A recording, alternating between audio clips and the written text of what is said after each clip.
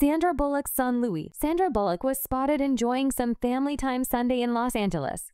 The actress, 60, who recently reunited with co-star Keanu Reeves for the 30th anniversary screening of Speed, looked relaxed as she chatted with her son Louis, 15.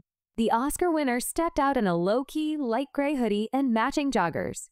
She wore dark sunglasses and placed a tan-billed hat over her long, dark hair. She appeared to be wearing little makeup. Sandra Bullock was spotted enjoying some family time Sunday in Los Angeles. The actress, 60, looked relaxed as she chatted with her son Louis, 15, plus 4. View Gallery. Sandra Bullock was spotted enjoying some family time Sunday in Los Angeles. The actress, 60, looked relaxed as she chatted with her son Louis, 15. Read more. Exclusive. Nicole Kidman's warning to daughter Sunday, 16.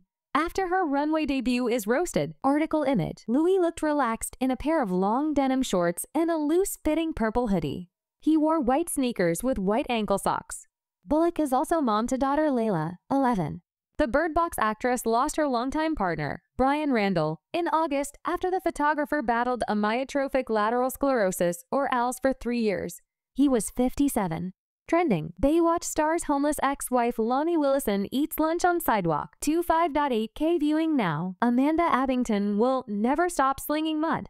Fears Giovanni, 31.5K viewing now. Jennifer Garner, the cool mom wears leather jacket, 12.1K viewing now. The actress is keeping busy as she works through her grief.